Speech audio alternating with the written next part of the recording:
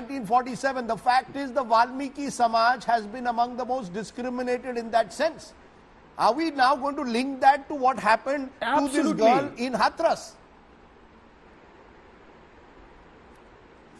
No, I'm, what I'm saying is that Valmiki Samudai's condition has always been like this. Right? They are the most exploited, downtrodden, marginalized section of our society for which BJP has never been, you know, concerned.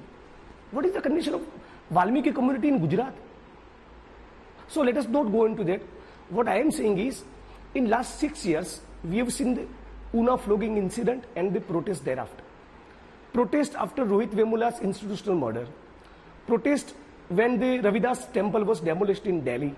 Second April's Bharat Bandh and now this Hathras incident. What does it show? ये क्या दिखाता है ये ये दिखाता है कि पिछले छह साल के दौरान सवर्ण समुदाय के तथा कथित कुछ एंटी सोशल एलिमेंट्स को एक प्रकार से उस बात का हौसला मिल गया है कि वो दलित, आदिवासी और माइनॉरिटीज में कितना भी उत्पीड़न करे, उनको कुछ नहीं होगा। ये इस बात को लेकर आश्वस्त हो चुके हैं। इस बात का चिंता भारत सरकार को करना पड़ेगा। माननीय प्रधानमंत्री जी को करना पड़ेगा। आज एक छोटे से बच्चे का वीडियो आया है, जिसने सारे जर्नलिस्ट को बाइट में यह कहा है कि हमारे परिवार के एक सदस्य के ऊपर इस हाथरस वाले मामले में एक पुलिसकर्मी ने और डीएम ने शायद उसकी छाती पर लात मारी है। ये कर रहे हैं आप पीड़ित परिवार के साथ। विक्टिम फैमिली के साथ आपको संवेदना प्रकट करनी चाहिए। उसके साथ मिलकर यह सुनिश्चित करना चाहिए कि उनको न्याय कैसे मिले। उसके बजाय आप उसको लात मार रहे हो। बिना उनको पूछे उसकी डेड बॉडी को क्रिमेट कर रहे हो। आज ये कंडीशन है। एंड नो बड़ी बोदर्स और माननीय प्रधानमंत्री जी, अब तक इस मामले में चुप्पी क्यों नहीं तोड़े?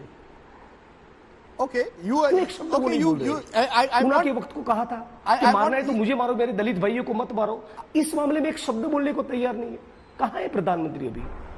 Okay I I I want each of you to give opening remarks because Sudhanshu Trivedi finds himself in a sense otherwise encircled in any case but I want to come to you Atishi because at the Jantar Mantar protest today Arvind Kejriwal also joined so you had Priyanka Gandhi Arvind Kejriwal, left groups, Dalit activists all coming. Is this all in a way to somehow or the other woo the Dalit vote to corner in a way Yogi Adityanath? Is this now a political battle at one level? Rajdeep, I think what we saw today at Jantar Mantar, while politicians may have joined, while uh, Mr. Kejriwal joined, while many legislators of our party joined, but I think what we saw in Jantar Mantar was definitely a citizens' protest. And why are citizens out in such large numbers, despite a pandemic going on in a situation where schools are closed, colleges are closed, workplaces are closed? Because people's blood is boiling. And people's blood is boiling because not only is this girl brutalized once, not only she gang raped once, but she is brutalized again and again by the administration.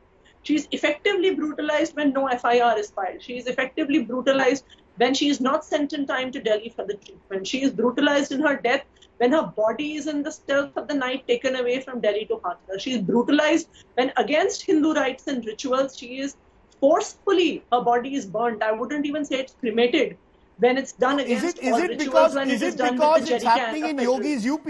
Is it because this incident has happened in Yogi's UP? You are all seeing a opportunity there, I say, to, to in a way encircle the Yogi government.